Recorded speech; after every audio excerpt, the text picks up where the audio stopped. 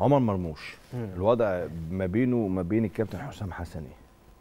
طبعا عمر مرموش كان من اللاعبين اللي يعني اللي في الصف الأول بالنسبة للكابتن حسام حسن وده كان ظاهر في المعسكر ال- ال- الماضي اللي كان في يناير وكان في ال- ال- المباراتين آه، الوديتين يعني.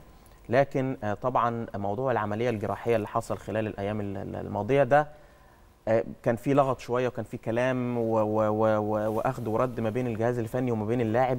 الكابتن حسام حسن بشكل شخصي تواصل مع عمر مرموش وطلب منه إنه يأجل العملية الجراحية لما بعد مباراتي بوركينا فاسو وغينيا بيساو خاصة إنه العملية مش في ال- القدم دي عملية في إصبع اليد وكان ممكن آه، تتأجل يعني لما بعد ال- المباراتين.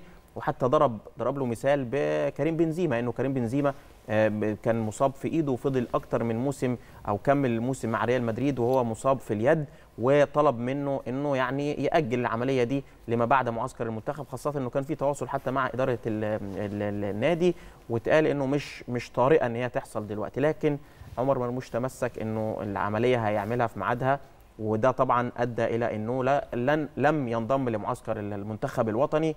فبالتالي في كلام على مستقبل عمر مرموش مع منتخب مصر في ظل القيادة الفنية الكابتن حسام حسن وارد بنسبة كبيرة جدا إنه الموقف ده يؤثر على مستقبله بعد كده مع كابتن حسام حسن أنا أتصور إن الموضوع هيخلص يعني الموضوع يخلص نتمنى. بشكل بشكل إيجابي إن شاء الله بإذن نتمنى. الله